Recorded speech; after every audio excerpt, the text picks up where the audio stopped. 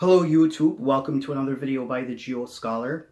When you think about trade, when you think about the transportation of goods, you have to really think about the role geography plays in all of that and how it has always played a role. And when you think about how technology has progressed over time, you know, now we have cars, we have trains, we have airplanes, and that is very good.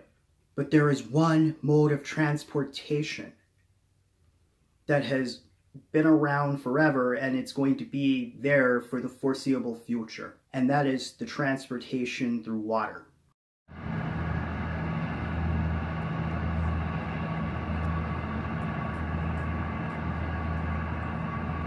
Maritime transportation.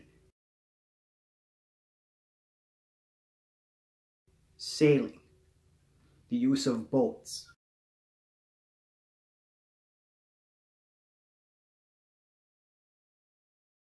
And as the technology in shipping vessels going over water keeps progressing, that is something to keep your eye on. And there's something you have to consider, and this is why you always see so many places around the world that are on water. Places that are on water tend to have very big economies because you have to think about how things have to be shipped out shipping through using shipping vessels, shipping via water is not the fastest way to ship things. It is a mode of transportation that can be used very often. It can be used for multiple reasons. It's cheaper. It's cheaper for how much you can carry. Because you have to think about this. Unlike roads, unlike trains, you don't have to take care of that much infrastructure other than what you got to take care of at the ports.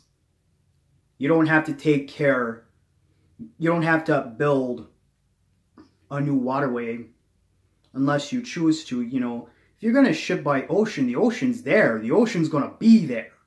The ocean has always been there.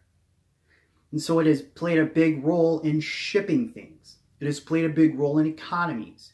You look at some of the largest cities in the world, New York, Tokyo. Those cities are next to the ocean and it plays a big role. You look at Shanghai, China, big role, the ocean. You look at so many cities. You think about Greece. Greece is a nation in which, you know, very mountainous, but there are so many islands and there are so many ports. And so the tradition of shipping is always there. You have that option for trade. And that's one thing about water and why it's not going to go away. It's the cheapest form of transportation and you can ship so many goods. You can ship far more goods, heavier goods via water than you can by airplane. Airplane, you can go around the world really fast in an airplane, but there is only so much you can put on an airplane before that airplane starts having problems. Trains, you can carry very heavy goods, but it comes with the expense of having to build railroads. It comes with the possibility of derailing. There's just a lot you have to consider. With water, yes, there is the risk of storms because you are out in the elements, but the same goes with other forms of transportation. You're out in the elements too. But you have to really, really consider how water has played a big role in transportation and how it's played a big role in trade. Think about this. As the progression of United States population growth started going westward in the early 19th century. Think about cities like Cincinnati. Cincinnati became one of the fastest growing cities in the United States during the 19th century. Why? The Ohio River. You had river transportation. You have to think about how cities like New Orleans, Pittsburgh, St. Louis have developed you had river you have river boats you had that water for transportation You look at Chicago. Chicago, now Chicago had a lot of other things like railroads. But the big thing you have to consider, it's next to Lake Michigan.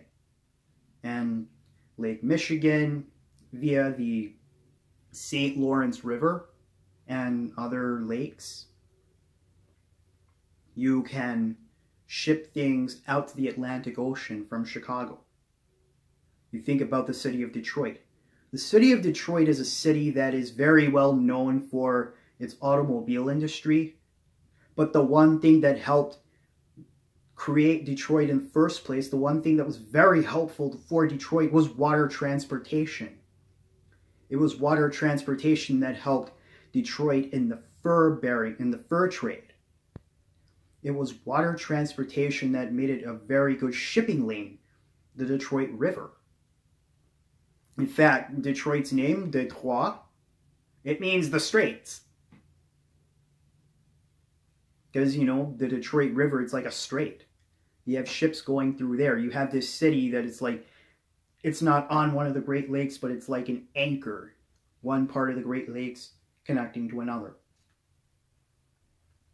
We have to really think about water because water, water continues to be the major mode of trade.